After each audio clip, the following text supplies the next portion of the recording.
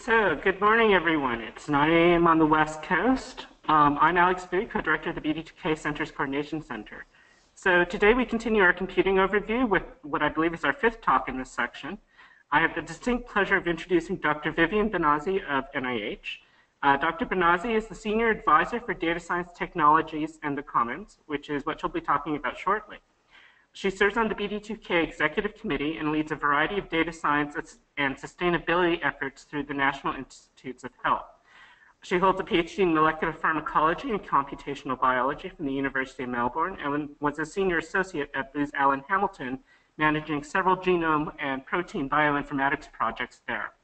As part of NIH, she, she has served as a program director for the National Human Genome Research Institute and was part of the Human Microbiome Project uh, where she was responsible for the bioinformatic and computational elements of that effort. Uh, so please join me in welcoming uh, Dr. Bonazzi this morning. She'll be giving us some insights uh, about the relatively new and exciting NIH Commons. So Dr. Bonazzi, thank you for joining us today. The floor is yours. Great. Good morning, everyone. Thank you, Alex. Um, thank you for the opportunity to speak to you today. So today I'm going to talk to you a little bit about the Commons, but also just give you a few updates on where we are with that, which is the context of this talk today. So I'm just going to. You can can everyone see my screen? Is that the answer to that? Yes, Alex, to you at least. Hello. Can you hear me? Alex, can you hear me? Hello. We can hear you. Okay, great. I'm just trying to get my slides to advance. All right. So the previous slide was just a little bit about myself. Let's keep moving. So I'm going to talk to you a little bit about biomedical big data. I don't know what all of the audience's background is, so I'm going to assume something in biomedical areas and some different degrees in terms of data science. And I'm going to try and build up a picture of essentially why we would need something like the Commons and how we're going to approach it in NIH. So starting really at its basic level, this is the kind of data that NIH is, is well known for. A lot of it is, um, a lot of it was analog, but it's moving more and more to digital sciences. And I think we see that from some of the examples I'm just showing here. And as we get more towards wearables and collecting that kind of information, we're obviously going towards more and more data collection as well. So I think this slide is something that maybe people have seen before, which is we hear about the four V's related to big data. I've heard of several different other ones, and that is the volume as in the amount, the velocity, which is the speed of which you need to uh, process this information, and it's coming up very quickly. The variety in terms of the different data types that we have, and then the veracity, which is really the trustworthiness of the data and its cleanliness. Can you really trust it and can you use it? These are the ones that I've seen a lot of, and I've seen a few others, but one of the ones that I want to focus on today is also this, which is that I think that data has value. And it's, I think, a signal of the coming digital economy that I think we're all realizing we're in. And that data is really central to that particular digital economy. I think that economy is characterized by using data to gain a business advantage. And I think, yes, institutions, not just commercial entities, are businesses when we come to data. And I think that organizations that are not born digital will be at a disadvantage in that new economy. So I think organizations will be defined by their digital assets in the future. And by digital assets, I mean these in terms of the sciences. That is data, software, workflows, documentations, journal articles, and there's probably others here as well that I could include. But I think these are the ones that most people would, would know about. And I think what's really important here is that a lot of the most successful organizations of the future will be those that can leverage those digital assets and importantly transform them into a digital enterprise. How do we pull all these pieces together is the question we have to ask. We know we have the pieces, but what do we need to do? I think one of the key ones is to make data the central currency of an organization. And it, it's really usable in a digital ecosystem in the context of where we're talking about the commons. So really, the transactions of using data is really what the commons facilitates. And I'm going to go through that in a little more detail now. So let's have a look a little bit about the problem with biomedical data. And when I talked about digital assets before, I want to say that includes data. It isn't just data. And I think there are lots of challenges in biomedical data. And that is, um, and they fall in a couple of different categories. There is the journal article, which is still, I think, the end goal of many scientists. And that's fine. But the data which is, is seen as a means to an end, is really low value. And I think this, the argument I was just making before is that data actually has value and it's higher than what we're giving it at the moment. Um, the data is not fair, and that is the term that is being used fairly recently. I'm assuming that listeners have heard of this term, but those that don't, I'm implying that it's findable, accessible, interoperable, and reproducible. And there have been a number of papers over the last two years which talk about this that in fact, if we're going to give data value, it has to have these properties here in order to be able to do something with it. I think there are also limited e-infrastructures to support fair data, and I think what the Commons is trying to do is going some way towards doing that. So here is just a short um, presentation which is uh, from the New York uh, Health Sciences Library. Some of you may have seen this. It's quite long. Uh, the original is actually quite long. I've just taken a short abstract from it to sort of identify the problems with data. This real, uh, this little YouTube video really encapsulates the issues with data. I think it's only about a minute and a bit long. So I'm going to play that now. The link uh, to the full video is shown here at the bottom of the screen, uh, so you can go to YouTube and actually have a look at that. So here it is. Enjoy. Hopefully the audio will play for you. Hi. Hello. My name is Dr. Judy Benign. I'm an oncologist at NYU School of Medicine. Hello, Dr. Judy Benign. I read your article about B cell functions. It was very interesting. I think that I could use the data for my work on pancreatic cancer. I am not an oncologist. I know, but I think I could use the data for my work on pancreatic cancer. Oh, so do you have the data? Everything you need to know is in the article. No. What I need is the data. Will you share your data? I am not sure that will be possible. But your work is in PubMed Central and was funded by NIH. That is true. And it was published in Science, which requires that you share your data. I did publish in Science. Then I am requesting your data. Can I have a copy of your data? Everything you need to know is in the article.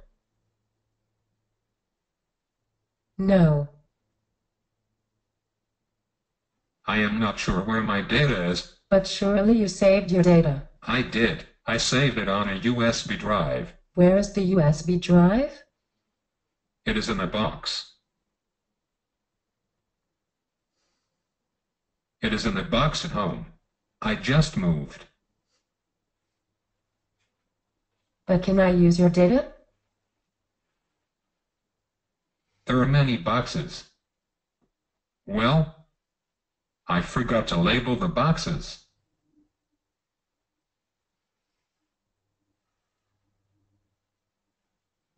And as you can see, I think this encapsulates a lot of the problems that we're seeing uh, with data. It's a small vignette. I highly recommend watching the entire video. It's in three parts. So what's changing? We know what the problems are, but let's have a look at what's actually changing.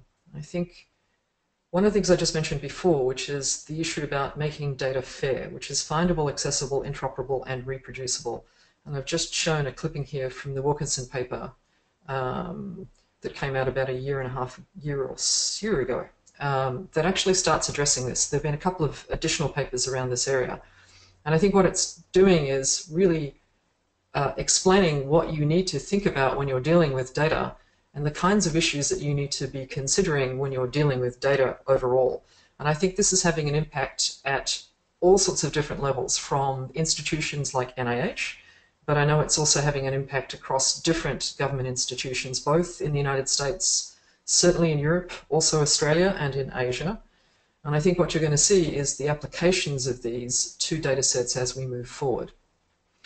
Another key issue that's, I think, changing that's hopefully avoiding what we just saw in that uh, short video, is the data sharing policies from funding agencies like NIH, but I think other ag agencies that also deal with data, which is making the data shareable, not just in a form as in making data fair, but also having policies saying we want things to be shared, looking at open data, and the standards associated with that, and the things that go along with uh, grants that are uh, that are actually paid by NIH and ensuring that that data is made available. But I think we're also seeing a couple other things, and that is that when you store your data, that you're moving towards instead of just having it on local repositories uh, or in general archive repositories, we're actually looking at now research data repositories which store data per se. And there are a number of these that have been coming about, and I think that's also a change in the way that we're looking at data. Making these available in a fair format, but also having them available to the broader community rather than just the USB drive, which is what the previous uh, YouTube video showed. I think the other thing is metadata. Uh, metadata is really important in describing the data that you have and ensuring that it is has quality standards around it is really important. There have been many projects at NIH which have used metadata but not particularly well or used community standards. And this is critical for the way that you actually want to index this information and search it and make it findable by others and usable by others. Another one which is, is another change that I'm seeing is the use of unique identifiers, ensuring that we have identifiers for the data per se uh, that are consistent and also to formulated standards, and standards are starting to come across this area. So I think where the YouTube video showed a lot of problems, I think here are some of the areas that I think we're starting to see some change, which is starting to enable the better use of data and to see value in the system.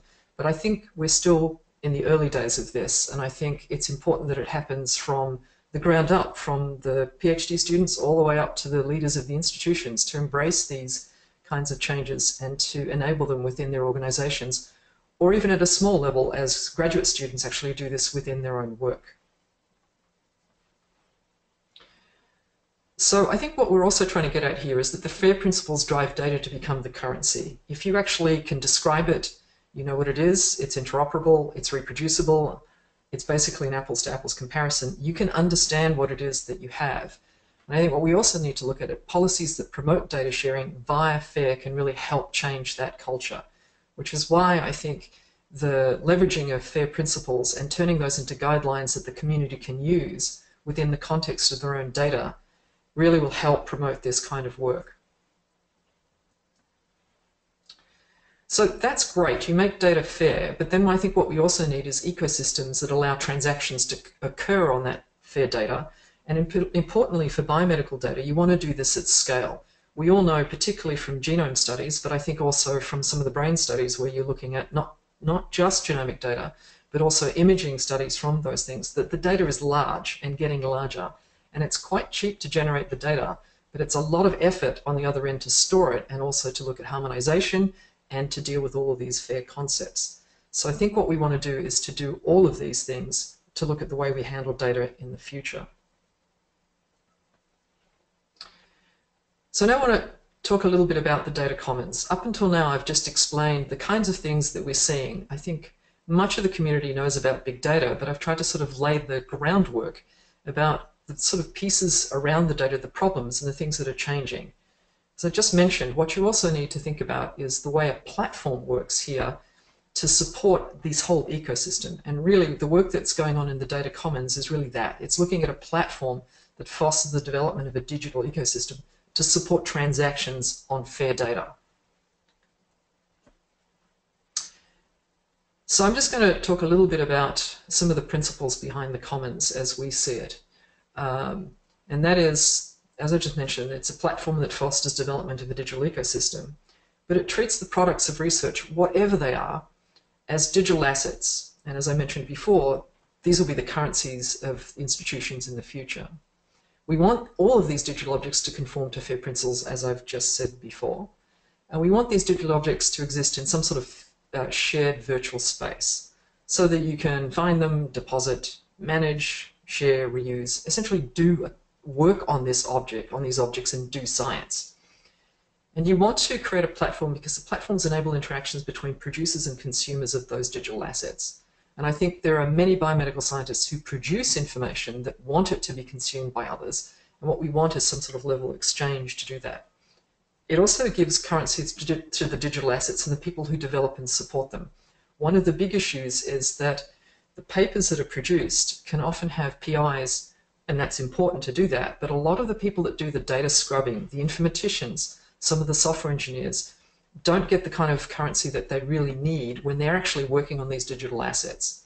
And I think papers are great, but it would also just be very helpful and I think really good to give currency to the digital assets themselves, be they whatever they are.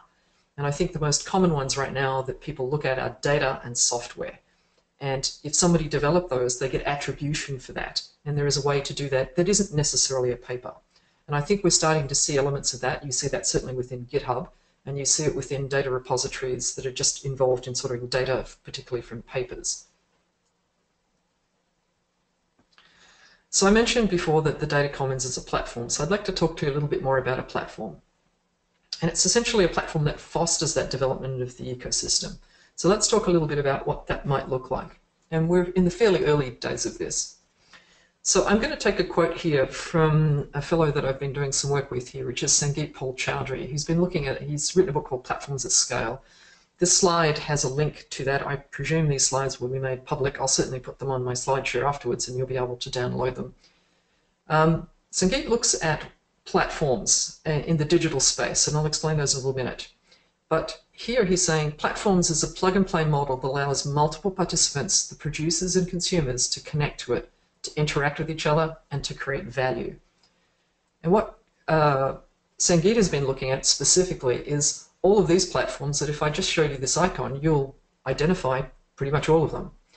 Uh, a very classic one is Airbnb, right? It's a platform that allows producers and consumers to interact with vacant apartments, uh, houses, um, essentially accommodation with people who need that. And he's been looking at how those platforms are set up to connect producers and consumers and what really uh, allows them to work and what are their business models behind that. So, as I mentioned before, but I think it's worth stating again, that you want interactions between producers and consumers. So somebody who generates biomedical data, and often the tools, but not necessarily just that, wants to be able to share that information with others, either within a consortium or with just others in the future who want to consume it, say if they have a new grant that they want to submit or application they want to submit to NIH.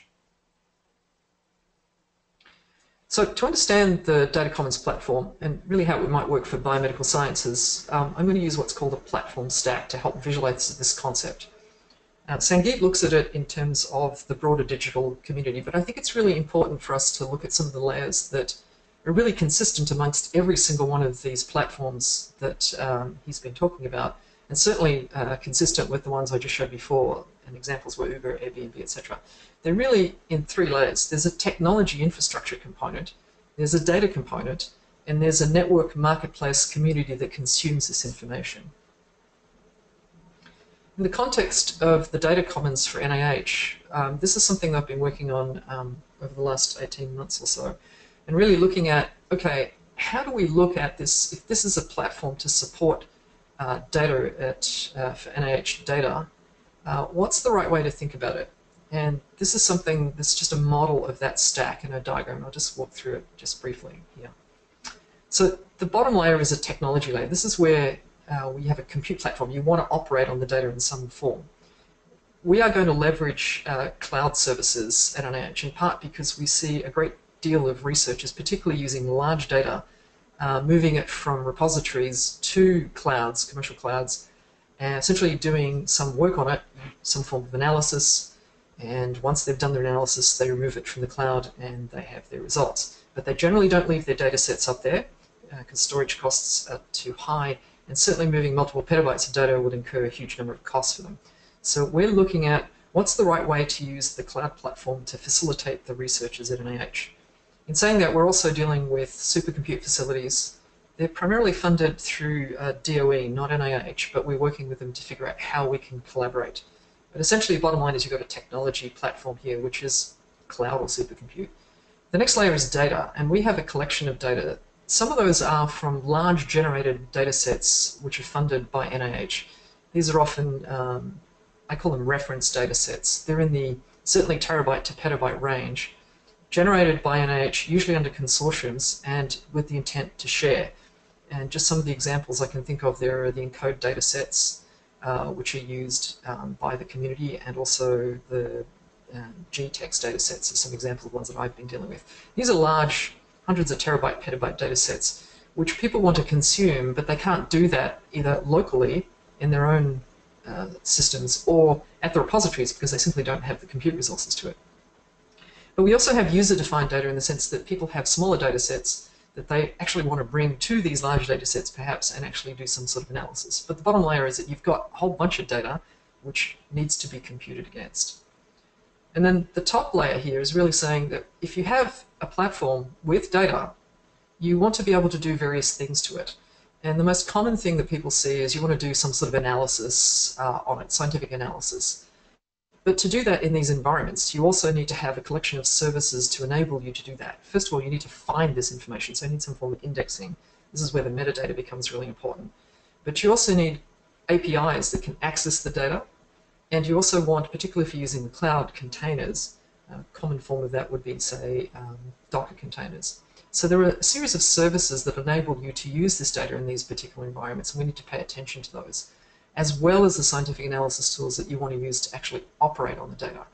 And on the top of all of that, I think what you want is to have some form of interface which uh, allows you to access a collection of these data sets appropriately and some sort of really marketplace to allow those interactions to drive innovation. Um, the other thing you need to do is obviously have digital object compliance, and this touches on the FAIR principles. So essentially, this stack is three parts. Um, some form of compute, a whole lot of data from NIH in some form, or biomedical data in general, and a collections of services and tools allow you to operate on that data, on FAIR data. If you want more information, there's a link at the bottom of the slide that takes you to far more detailed information at the Commons if you want to read about it. A couple of other things I just want to point out. Um, again, looking at platforms in general, if you look at this in the context of some of the way IT sees it, the bottom layer is really the infrastructure as a service. And then the layers around the, the data and the tools around those, the services and the, and the analytics, is really platforms or software as a service. And I think this is where we're starting to see um, some play, certainly in the market. We're seeing a lot of SaaS providers out there, certainly in biomedical sciences, but you're certainly seeing it in other areas as well. And I'll show a couple of examples of those in a minute. But I think we're also going to see uh, a drive to data as a service in the long term, because I think really data is going to be the currency to this. And how that looks like, I think we're, we're just starting to understand those pieces. Just a, moment about digital object compliance. This is really about making things fair. I won't go through this in a lot of detail. Um, I'll just say that uh, there are key aspects of this that we need. Would you need digital object identifiers that resolve to original sources that's machine readable and you have a minimal set, of metadata and you have clear access rules and entry and indices. If you do this, I think what that does is it allows us to uh, move towards uh, fairness, essentially.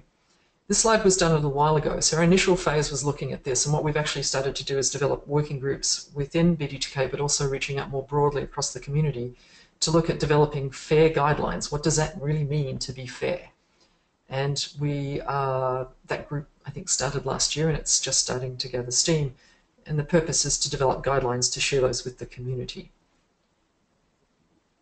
Right, here's some examples of just platforms. I'm not endorsing any of these, I'm just simply saying here are examples. This is a SaaS application a lot of people who deal with genomics will probably know, which is DNAnexus, um, that allows you essentially to develop, to use pipelines uh, and various tools uh, essentially over clouds. And they have a lot of genomic data, and the purpose of this company, I think, is to enable scientists to really use data at scale. And it's very much a platform that follows uh, some of the principles I just showed for the commons.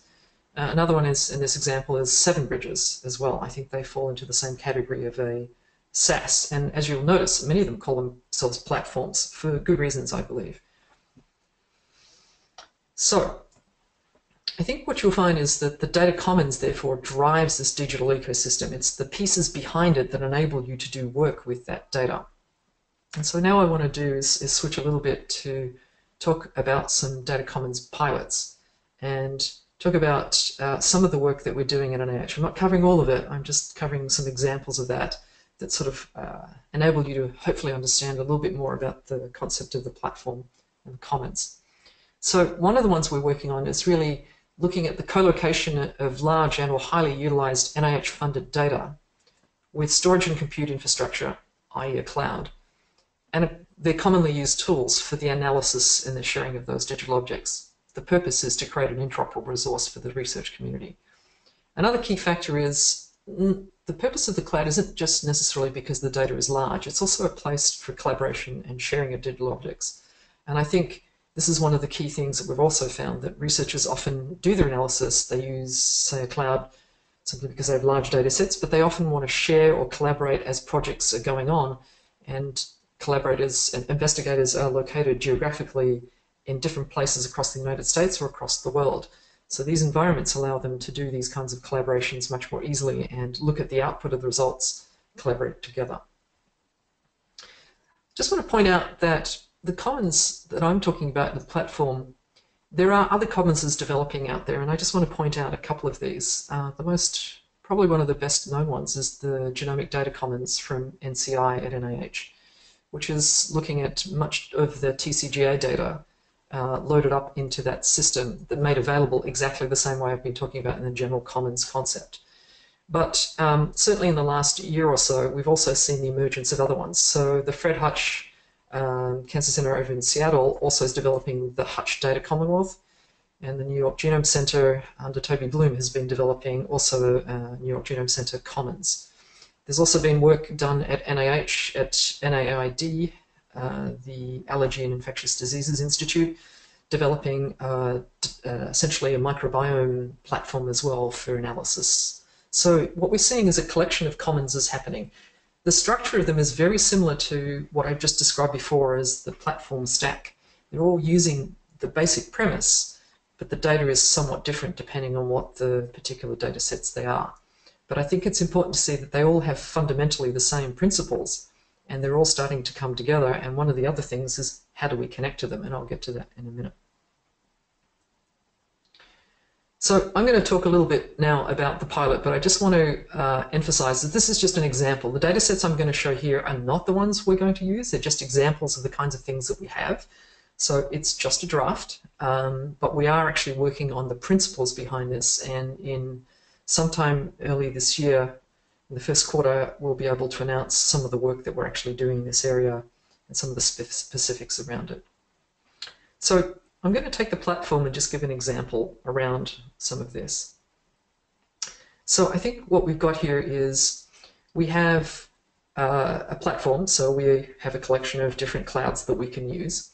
I think it's important to look at a variety of different clouds, not just one, in part because we obviously want to avoid some level of vendor lock-in, but I think it also is helpful for supporting innovation and competition amongst them and each one of the systems is different. They do offer slightly different services. That's potentially a problem and also an opportunity. So I think we're looking at a collection of those. Which ones we choose is going to be dependent upon some of the things that we do based on our use cases. The other thing we're doing there is looking at, uh, if I'm taking this platform, we're saying we, we take a collection of data. So here are just some examples of data sets which are supported by NIH. I'm not saying that these would be the ultimate ones we use, but essentially what you're creating is a a collection of data. Um, they're different types. They don't necessarily interoperate with each other, but essentially you're creating a pool of data that people could potentially query individually or across. And I think that's pretty important. And from that is going to come the need to potentially harmonize or not. And that's a question that we need to look at. But I think a pool of data would actually be quite useful to consider. So if we take that uh, a little bit further, but we could layer, layer on top of that a series of analytics and services. And these are just examples of some of those. Some of those are commercial, some of them are not commercial. Some of them are tools, some of them are tool systems, some of the platforms as a service, and the Global Alliance is obviously looking at some standard APIs for querying the data. So there's a collection of things that already exist out there that could essentially layer over the top of this that could leverage the data in a variety of different forms and provide access to the rest of the biomedical community. Um, the other thing that I think you want to look at is you need to think obviously about the indexing, and there's work being done inside BD2K with bioCADDIE, uh, which is an indexing system, and Bioschemas, which um, has been discussed with Elixir, which is the group in Europe, looking at schema.org and its applications to biomedical sciences. And I know bioCADDIE has been heavily involved in looking at those as well and incorporating a lot of that work with in DataMed. But the key point I'm trying to make here is that you need some form of indexing. I'm pointing out these ones here just as examples, uh, in part because we're having a BD2K lecture and we are planning to leverage the work that bioCADDIE has. But it's really critical that you actually consider the indexing of that. Otherwise, what you have is a whole lot of data and a whole lot of tools that are not necessarily easily findable. And I think that's really important to actually have here and call out in the system. I think um, another aspect here is how we would leverage this potentially at NIH. And I think a real key factor there is the, the things that we can actually do is if we make this data available, these large data sets available in the cloud, and we can layer on these tools, I think there are multiple uh, ways that NIH can foster the innovation of further development in this area. The tools I've laid out here in this around the analytics and services are currently tools that have been developed, but I think we want to foster more of that. And I've just given some examples here of uh, R01s or a bread and butter grant from NIH, but there are other ways to do this. Essentially, there are ways to get grants at NIH to foster innovation over the use of this particular data, and I think we definitely want to do that. But I think what we also want to look at is consider looking challenges and prizes. Why? Because I think it could be really interesting to sort of ask questions across some of this data, assuming the consents allow us to do that, uh, to really kind of think about new ways that you can actually intersect and ask questions across that data to enable discovery in a different way. You can do that, I think, from a couple of different angles. One from a biomedical one, where you can ask an interesting biomedical question across these biomedical data sets uh, to improve the outcome of a biomarker, some sort of new discovery, uh, better understanding of a disease. All of those are relevant. But I think what is also relevant is the services and tools that are needed to do that at a faster and more accurate rate. So how well can you predict a biomarker? What's the best way you can actually do that? What are the tools that you need to do that? What's the statistics you need to do that? Those are some of the aspects I think here that some of these challenges and prizes could also address that I think could yield to some pretty interesting ways that we could leverage this particular data. I think the other thing I want to point out is that um, over the top of this whole thing, you want to have this marketplace, which is, I'm using the term App Store because that's where people really have their best understanding of how it works when you use an app and it works over the top of data or uh, within your system. But I think really I'm going towards the concept of a marketplace. How do we actually have a collection of tools, systems, data that you can easily find and create a marketplace for the way that you operate over particular data sets or particular tools. What's the right way to think about that? Um, rather than a single uh, way to view a data through one set of tools alone. I think that's pretty critical. Another aspect to consider about here is what I call the authorization authentication layer, and that is uh, the, a lot of this data was likely to have uh, human subjects issues. So some will not, but some does. So for example, human microbiome data does not, but many of the other data sets do. So we obviously need to think of the right way to handle that uh, from NIH. And much of the data that's uh, human-based is stored at dbGaP at NCBI. So there's a critical discussion there to happen about how do you set up that authorization authentication layer that allows you to get access to that data in the appropriate way and we've been having conversations around that within NIH about how that might actually occur. But that's pretty critical so that you can ensure that only the people that are permitted to use the data can actually access that. Another thing that I want to point out here is that this isn't the only commons. What we're looking at here is NIH-funded data, but as I pointed out before, there's a collection of different um, commonses that are being developed. And I think what's really important there is that we, we start talking with them now, not at the end, otherwise we create cylinders of excellence. And that's not what we want. So I've certainly had conversations with all of the folks that I pointed out before, and there are more and more folks thinking about this. And we've started some discussions around what's the right way for these pieces to interact and intersect. And where, do, where are they separate? And they need to be separate. Um, so obviously one of the most uh, obvious ones is to look at it through an API access point between these commonses and looking at how we can run services between them. It's complicated, especially when you deal with human subjects data, but I think the conversation is the important point here, that we don't want to simply look at um, providing data and creating innovation on top of it from NIH and not connecting to what other folks are already doing in their other commonses. So I have some considerations I want to just talk through now, and that is metrics. What I'm describing here is essentially a platform to support biomedical data that uses cloud, data, and services. But understanding how and you account for all of the data usage is really important because there will be, we need to understand how it's being used and why. There's also a cost, particularly for these large data sets. Uh, cloud storage is not cheap for the large data sets, particularly if you want to put them in more than one cloud. In saying that, many of the commercial providers are very interested in working with us because they see the value of a platform and an ecosystem that is more than just data storage. So we are, you know, in obviously lots of deep conversations with them about the right way to interact. There's also a pay-for-use cloud compute. Um, there is a project which is being developed in NH called the NH Credits Model, and I'm not going to speak about that today. Um, but it's really looking at how do you pay for those services directly, and how does NIH really understand what people are paying for. For example, when you're using cloud services, a lot of the time you get free uh, credits from the cloud providers per se, which is great. But if you probably tried to include everything that you used on the cloud in your NIH grant, it'd probably be very expensive and it'd take a fairly large chunk out of your grant. There are also other issues that we need to deal with, which is the indirect costs for cloud. When you submit a grant to NIH, there are indirect costs which are associated with the research institution. And I think what we need to look at is the way that these things obviously interact and what's the right way to pay for these and also to deal with the institutions. And then let's be clear, the commercial clouds are useful in the sense that they have scale, but there are many groups out there that have already developed uh, private or institutional based clouds. And there's good reason for doing that. Cost is one.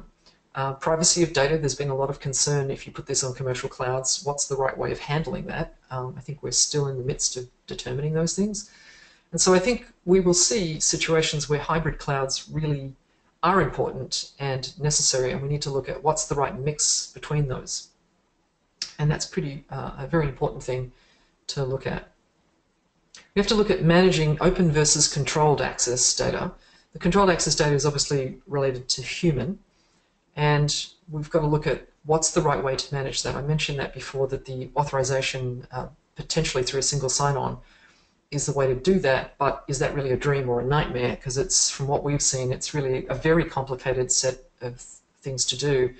And there may be reasons where single sign-on is good, but there may be situations where that's not possible. So we need to sort of test all of that and figure out what's the right way to approach it. It's important to point out that we need to look at the difference between archiving versus working and version copies of the data. Um, NIH requires that we keep all our data. Certainly, the uh, we archive it. That's where um, very large archives like NH, NCBI are very important, and EBI over in Europe. Um, but if we put working copies of the data onto the cloud, they are not archives, and we need to know that that's what we're actually doing and why. Another one is if we do move copies of large data sets to the cloud, obviously versioning is going to pretty, be pretty important. So how do we handle that? that leads to uh, all sorts of issues around syncing. And I think whatever we do in testing this, we need to figure that out. Um, another one, which I mentioned before, is interoperability with other commonses. Many of them are going to be based on clouds. The ones I mentioned to you before are going to be based on clouds. And it would be important to ensure that we don't have these cylinders of excellence, that we actually have interoperability between these, these clouds. We also have standards around metadata, UIDs, and the APIs. And the key, I think, here is to reuse what we've already uh, available to us in the community. There is work being done, certainly within BD2K, around metadata templates by Mark Musen's group at um, CEDAR. There's a lot of work being done by various groups with UIDs, and there's the Global Alliance, which has been looking at uh, open standard APIs.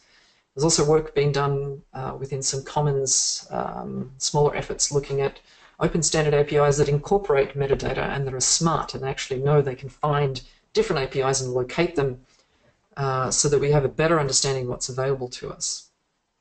But this is critically an important area that we need to have further development in. Discoverability touches on the indexing issue. I mentioned bioCADDIE before, but we need to look at bioCADDIE is one place to start, and it's a really good place to have uh, to use. But there are other ways to do that, and we need to, and the field is changing, so we need to figure out what's the right way to support that kind of work. And particularly if we're going to have uh, data and digital objects of various sorts across different clouds, that's going to be an interesting uh, problem to try and solve as well. Regarding interfaces, I think that's really pretty critical because you've got users with different needs and different capabilities. Certainly in the early versions of what we're trying to do here will um, probably be most usable by those that have a whole lot of bioinformatics capabilities already and understanding. But we understand very clearly that biomedical researchers don't necessarily have the capacity all the time to have bioinformaticians in their group. And so we need to be able to have interfaces that are available to biologists that don't have those capabilities, but definitely want to be able to use the data. So that's something we're really being very mindful of in all of these pieces. Consent. This is a really important piece. So we're getting onto some policy pieces here. Reconsenting of the data may be necessary, and that also could be very complex, particularly if you're trying to traverse across two different data sets that weren't consented to be using for uh, the purpose of using them to mine across two data sets. So we have to be very mindful of those uh, consents in the first place. And so engaging with the right folks to talk about that is really important. We've certainly been doing that at NIH. There are policies that need to be uh, also considered in such a, an endeavor, and that is um, the data sharing policies that are useful and effective to support this kind of open science. Uh, we have some already at NIH, but I certainly think we need a further focus on this, and there are certainly efforts underway uh, at NIH to do this, and I think we need more effort in this area, and I think NIH understands that. I think we also need to keep pace with the use of technology, uh, and here the example I'd give you is the example of dbGaP data in the cloud. This was uh, a couple of years ago. The policy did, precluded the use of dbGaP data in the cloud. This is a big problem for researchers since they wanted to use that data in the cloud because they had it was large and they also had large data that they wanted to compare it against. But our policies precluded the use of that, and so a group of us, including myself, uh, helped change some of the policies around that to enable the use of dbGaP data in the cloud. So sometimes what happens is technology is further ahead than the policies, and we need to do a, a good job of making sure that these two things are aligned. And again, it means that we talk, in the case of NIH, the Office of Science Policy, and work with those uh, people to ensure that they understand what we're trying to do and vice versa so we can keep up to, to speed with the changes in technologies. I think incentives are incredibly important here for the shareability of FAIR data as part of the grant review criteria of NIH. By that I mean, when you submit a, an application to NIH, you obviously list all of your papers, but it would be really good if people could also cite their data and software and any of the other data assets, the digital assets that you have, in a way that's meaningful and consistent. So I think we don't have a, uh, an incentives in there right now, but I think we're really looking at the fact that if data becomes currency and fair data becomes currency, what's the right way to include that in the review system when you're putting in applications to NIH? We also need to look at governance, which is how do we do this? How do we actually govern the overall way that we handle uh, a commons? I think what's critical here is to have community involvement in this governance model that isn't just generated by NIH. If this is really going to be an open, a platform for open science and an ecosystem to be able to use data at scale and to share it, then I think getting an understanding from community involvement is, is really important. And I think a, a key one here, the last one I've got here on my slides is sustainability. We all know that grants have a cycle at NIH and then they end. So what's the long-term support for this? If we do move data, for example, in the cloud for some of these large data sets, how do we sustain that in the longer term? What's the right business model to do that? And what's the right way to attempt to do that? I think these are all questions that we're, we're having in terms of what we uh, trying to think about how we approach the commons. So I think I've got just to my last slide here, which is the acknowledgements.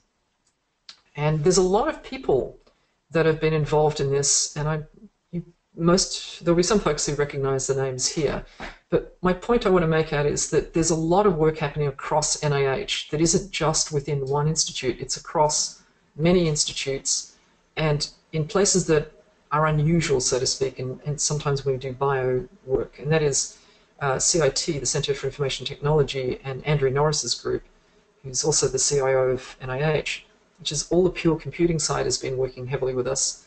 Also, Common Fund, who's very interested in this kind of work, has been working with us. Uh, I've listed also the Clinical Center is working with us, the NIH Clinical Center, to look at some of their data. And also the Office of Science Policy. So it's a collection of folks across NIH, but I'd also like to just have a shout out to research and industry.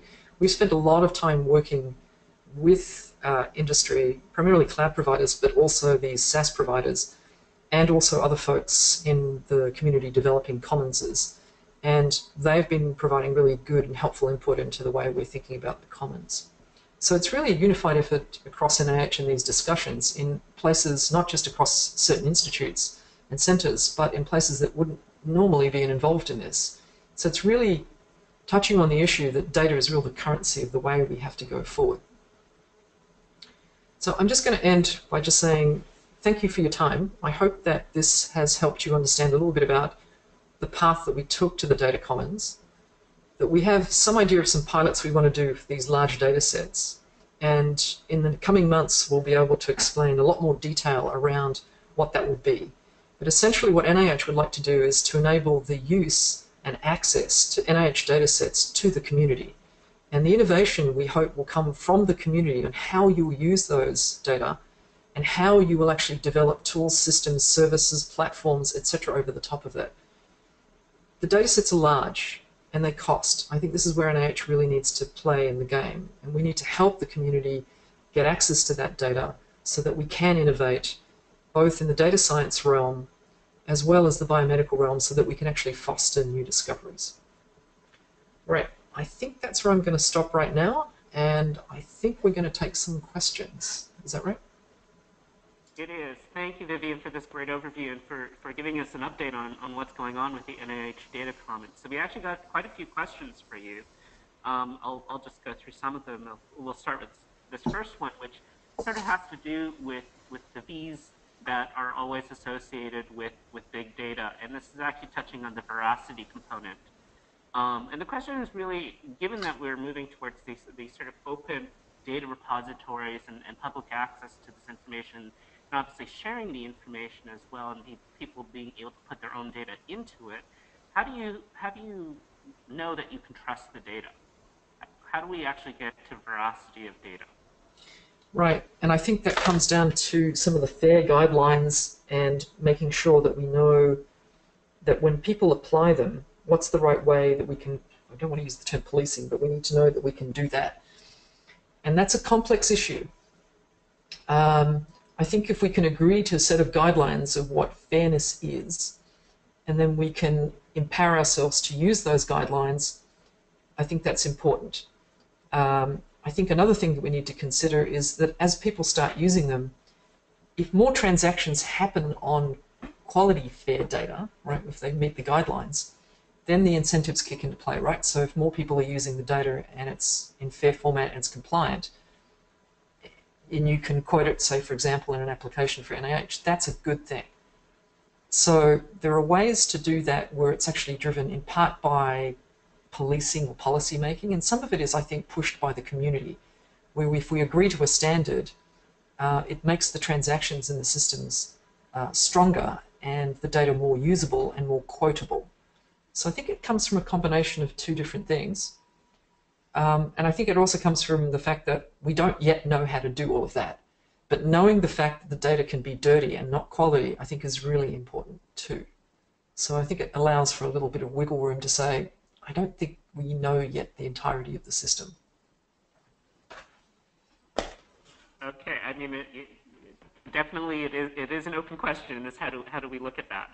Um, so following up on that sort of question and, and, and is another one from, from uh, regarding the culture of, of data sharing. And, and what is your perception of where the community is at, at, in terms of, of this new culture of data sharing? Or do you feel that, that there's a broad acceptance or a growing acceptance? What, what proportion of scientists and, and um, researchers do you feel sort of are embracing the data sharing and, and participating in it versus those that are basically going to have to be um, mandated to, to do the data sharing?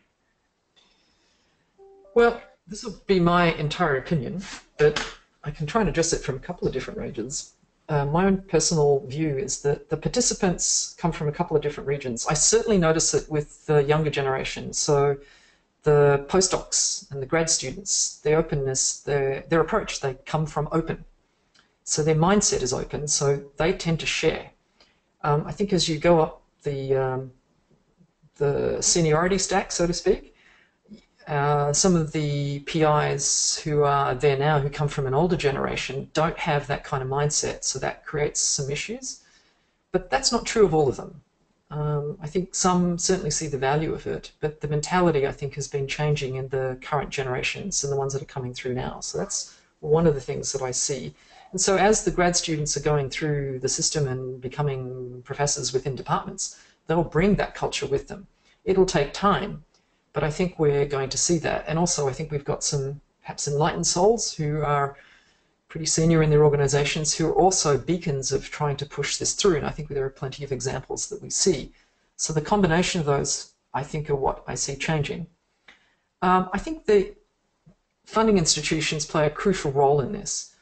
And that is that the funding institutions also have to provide incentives. So as I mentioned during my talk, you need to think about, or we at NIH need to think about the way that this enters the review system. So if there is an incentive for a digital asset that has either primarily data or software is where the talk is right now, that has, for example, a DOI associated with it, that that can actually be listed as something very important in your grant application. And that that has value and weight within the way that NIH sees it when it does a review. It's not just about your paper, it's all about the other things that have occurred as well. And there it touches on the fact of what you just mentioned before, which is, well, if I've got a bunch of these things and I have DOIs, how do I know that the quality of that data is high or not just a bunch of data that is meaningless? So what are the bars there? And I think the application there is how do we do that? And I don't think we know yet. Uh, and we have to look at it. But I think it's really important that NIH think about the way that they set up incentives for that. And they also have policies in place, which are, the, I guess, the, the stick part of the carrot and the stick, where there is some, some level of ensuring that the community follows some rules. But I think it would be wrong for NIH to simply use the stick all the time. It would be good to have both of those in play, in part because that's the nature of the way systems work, and uh, not all humans play fair. So I think it would be really good to see if we could have a combination of those. Um, that's just sort of my broad general view of what I'm seeing with the culture change. I'm certainly seeing it changing more and more. Every year I see changes, and that's, I think, a good thing towards open. I, I would agree with you on that. I think there is a, a, a culture change that is happening. Um, it's not happening overnight, but it is slowly percolating up um, and, and becoming more common. Um, another question, um, and this is going to some of the comments or some of the remarks you made regarding uh, bioCADDIE and and other um, sort of efforts. Uh, the question revolves around researchers being able to find the most appropriate resources for their needs, and I would assume that that is both with respect to data and the tools and software. Um, could you comment further on other uh, sort of works that bioCADDIE or other groups that you're aware of are, are uh, doing to sort of help researchers in this regard? Sure. So I think this is a wide open field. So I think bioCADDIE has been doing a lot of work in this area to try and find ways of indexing resources, and I think we're in the early days of that. I'm not going to go into the details of bioCADDIE here, in part because uh, I know it to a certain degree, but I think the question is more relevant broadly. Um, I think there's a lot of efforts happening both in industry as well as in research. I've certainly seen it within BD2K that there are different slants on the way that you might want to look at discoverability. Um, it partly depends on what you want to find and how you want to find it. Uh, some things are more discoverable than others because of their metadata. Sometimes the different kind of objects. Sometimes you want to find software, sometimes you don't. Um, so there are multiple research and commercial efforts underway. And I think what we need to do is to sort of do some bake-offs to see how do they work against some of the data and tools that we have. Um, how does that work? Um, and I think we're just starting to begin that whole process. I'll give you an example of some of the work I've done with um, Zenodo over at uh, CERN in, in Europe. They're looking at how that they, uh, both repository but also access points for data and uh, tools. How can they search for that? So what's the right way to do that? And then once you do find it, how do you connect it with a service? How do you do something with it once you've actually found it? Um, I think there's that. And then an obvious one, of course, is, you know, Google's really good at this kind of stuff, and a lot of their work around schema.org, which is now being incorporated in bioschema.org, I think is another effort to look at how do you leverage ways that methodologies related to discoverability can be used uh, in more appropriate ways for biomedicine. So, for example, I know that bioCADDIE has been moving towards incorporating a lot of that work within its own DataMed uh, component. So I think it's a wide open field and it's both got industry as well as uh, researchers across the world looking at this. And I think we're at the stage where we really need to start probing into what are the different resources that are available, how do they do it differently, and is it does it impact what you're searching for? If a different is it does it matter which type of digital asset you're searching for? I think that's currently where we've been thinking at NIH. And I think the work that we've seen from bioCADDIE has been helping us better understand the way that the community is thinking about it. And as bioCADDIE has been looking at indexing various data sets, uh, we're sort of seeing the outcome of those and saying, well, that one worked and this one didn't work so well. So that helps us feed back into the system to say what we need to actually do. It's a pretty general answer, but I think that's just generally where we're at at the moment. Fair enough. Um, I think that that there are obviously lots of BD2K specific projects that are also looking at indexing uh, from different uh, perspectives. I know that there's one certainly at UCLA and uh, there are others throughout the different centers of excellence. So, um, and, and I think the good thing is that they're all coming together under one umbrella. Um, so actually there was a question that, that was posed, which is, is talking about the FAIR framework. Um, and uh, the uh, working groups around that. I, I, think I can answer that for you. In this particular case, someone asked, um, how do you go about sort of finding out more about FAIR and, and joining the working group? Uh, there is a Commons framework working groups um, uh, uh, that, that actually addresses FAIR and, and other aspects. And I will make that information available more broadly to the community um, after, after this talk if, if, individuals are interested in finding out more about FAIR and the various working groups that uh, Vivien has mentioned. Yeah, um, and I would add, Alex, there that um, Valentina Di Francesco over at NHGRI is the contact person for this um, from the NIH perspective too. Yes, yes. Um, so one last question before we go and this has to do again with, with sort of the platform and the idea of collaboration. Do you envision any types of collaborative tools to support active collaboration or being sort of more proactive in forging the collaborations within um, the cloud, or not within the cloud, within the commons? Um, so things like being able to communicate, find researchers. Um, yes. So I yes, I do, and I think that layer is often not seen by often by NIH. But for example, Figshare, right, that does a lot of these connections, ORCID, um, there are groups out there that have pieces of information that would be really useful to connect within this environment, not just the data. Um, there are also people that are developing collaborative tools for collaboration uh, that allow connections data to tools through services, but also ways to do other things, uh, like linking, uh, linking to scholarly research and scholarly papers, journals, publications, etc. And there are several groups looking at that and have actually developed some platforms in this area. And I think we need to look at what that will be because, one, the way that they're developing those, those uh, collaborative platforms, so to speak, are a lot easier for biologists to use.